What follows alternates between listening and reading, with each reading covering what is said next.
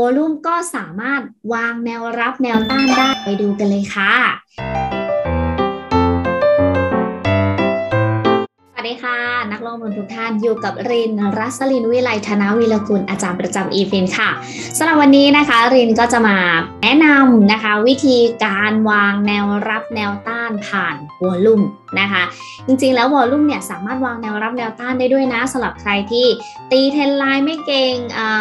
ตี Fibo ไม่เก่งนะคะ ไม่ได้เรียนไปจนถึงขั้น advance ในระดับใช้งาน Elliott Wave อะไรอย่างเงี้ย volume ก็สามารถวางแนวรับแนวต้านได้ไปดูกันเลยค่ะ นะวันนี้นะคะเราก็จะใช้นะคะ volume ผ่านตัวโปรแกรม eFin Stop Up ซึ่งตอนนี้เปิดมา โอ้โห ข้อมูลแบบ real-time เลยนะคะ มาพร้อมกับเซตติดลบ 10.13 จุดนะคะ เอาละค่ะ ฟังก์ชันที่เราจะใช้งานในวันนี้ นั่นก็คือ volume เนาะเอาไว้วางแนวรับแนวต้านยังไง ปกติแล้วเนี่ยนะคะ pattern แนวรับแนวต้านเนี่ย เราจะใช้ผ่านกราฟเทคนิค โดยการคลิกที่คำว่า template แล้วก็เข้ากราฟเทคนิคเลยถูกต้องไหมคะ แต่ถ้าเราไม่อยากใช้กราฟ หรือเจอหุ้นขึ้นแรงๆ อย่างเช่นหุ้น TWPC ตัวเนี้ย บางทีเราก็จะเอ้ย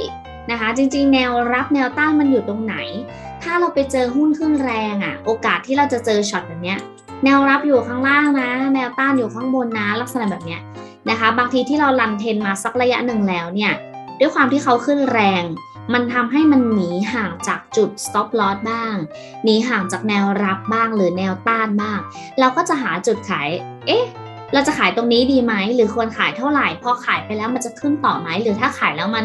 ลงล่ะ อ่า เราจะขายหมดไหมขายยังไงนะคะ เราก็อยากเอาแนวรับแนวต้านเข้ามาช่วย แต่ถ้าใครที่ไม่ได้เรียนสายกราฟเทคนิคมา เราอยากประยุกต์ใช้ volume ก็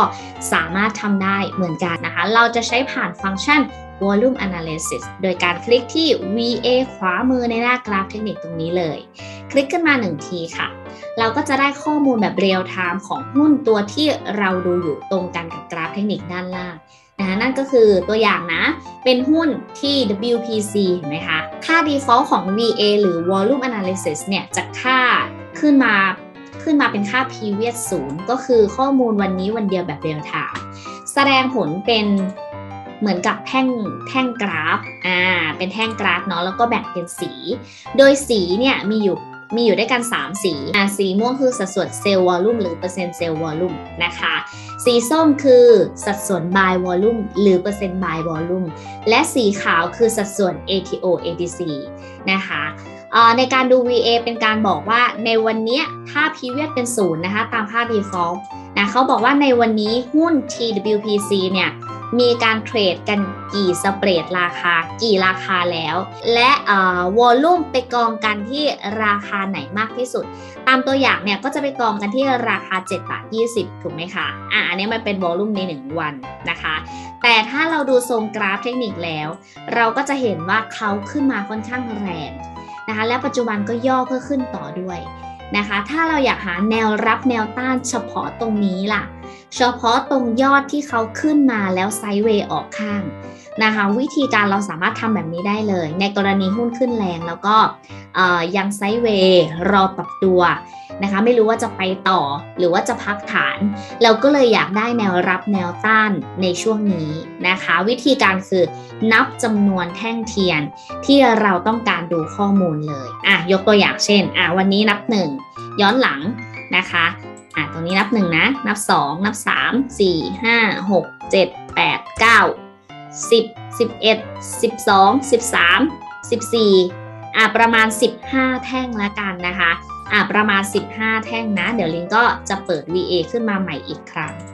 ตอนนี้ลินจะย้อนหลังไป15วัน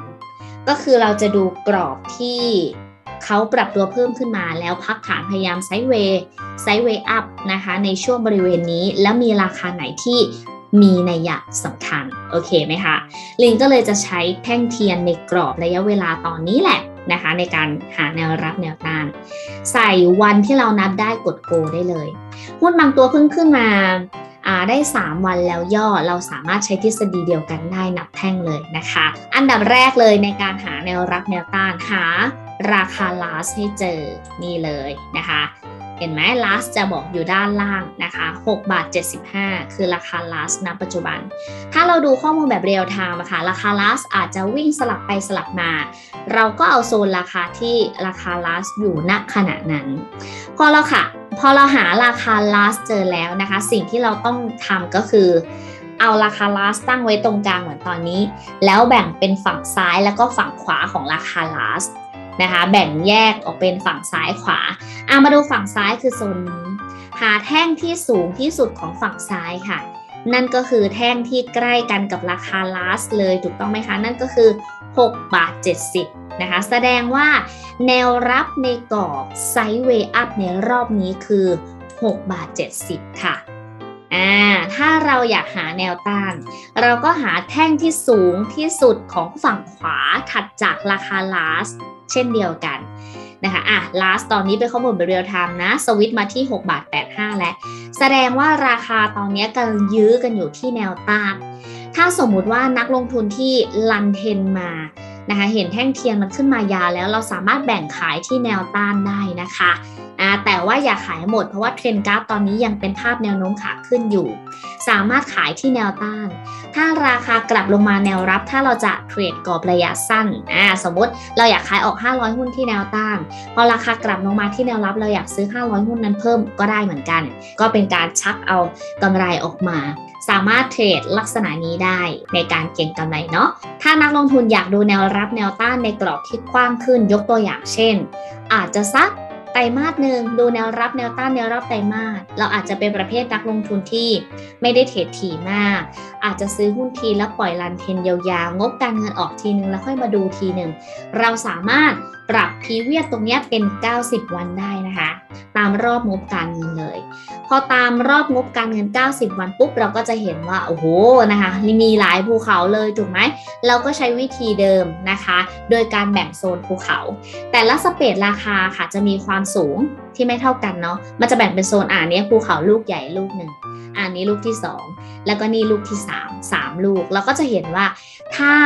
ราคาหุ้น TWPC หลุดแนววรับที่6บาท70 พี่ๆนักลงทุนก็จะเห็นแล้วว่า ถ้าแนวรับ6บาท70 เอาไม่อยู่ ราคาจะไหลลงแบบรวดเร็ว ไม่ค่อยมีกำแพงอะไรรับไว้แล้วนะคะ เราก็จะไปเห็นราคาชะลออีกทีนึงอยู่ที่5บาท70 นะคะ นี่คือการประยุกต์ใช้งานแนวรับแนวต้านนะคะ สามารถแบ่งพีเรียดออกได้นะคะ ขึ้นอยู่กับว่าการเทรดของนักลงทุนนั้นอยู่ที่ระยะสั้นระยะกลางหรือระยะยาวค่ะ ความรู้ในการประยุกต์ใช้ volume analysis ในการวางแนวรับแนวต้านในวันนี้นะคะ ลินก็หวังเป็นอย่างยิ่งว่าจะเป็นประโยชน์ต่อพี่ๆนักลงทุนทุกท่านค่ะ อย่าลืมกดติดตามลินไว้ด้วยนะคะ คลิปหน้าลินมีความรู้ดีๆ มาฝากแน่นอนค่ะสำหรับวันนี้ สวัสดีค่ะ